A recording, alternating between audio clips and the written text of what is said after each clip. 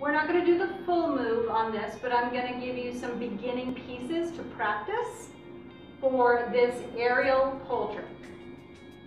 You're going to start with flatline, which means it is the inside arm and the inside leg holding the pole from a basic invert. If you need to go up into side climb, slide down into jasmine, and switch legs so the inside leg is holding, you can do it that way as well. From the flat line, we're going to leave the top hand next to the knees. We are then going to rotate our head towards the floor. The bottom hand is going to be in full bracket or claw grip because you know I like to separate my fingers so it's not a cylinder. So what I do is I make like bunny ears with my two fingers. If you make a perfect circle, it fits the cylinder and then has more of a chance to slide and less of a chance to grip.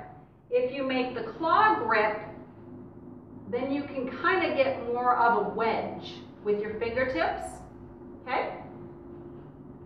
When doing this, we're not letting go of any of the legs or doing anything like that. Right now, all we're doing is learning how to tip ourselves from the flat line. So from an invert, it's my inside leg that is going to hook the pole.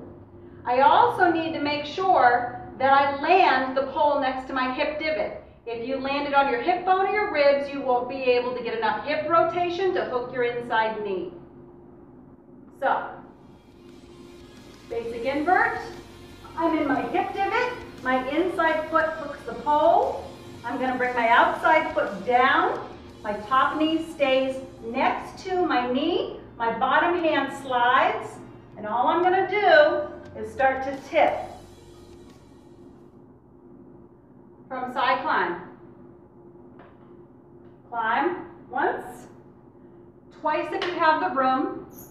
Slide in Start your invert, switch your legs.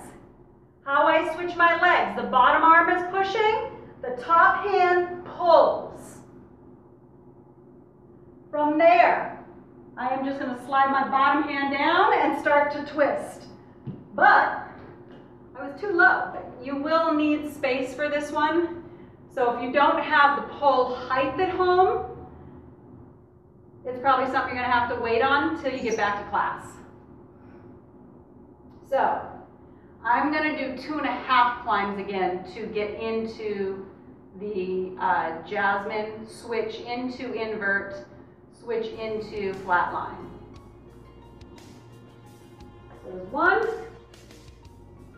two, and hopefully you can still see me. I pull in, my bottom hip, hip pocket is holding. I'm going to pull into my divot, switch my feet. The bottom hand was pushing, the top hand was pulling. And then I'm going to twist so my head is facing the floor.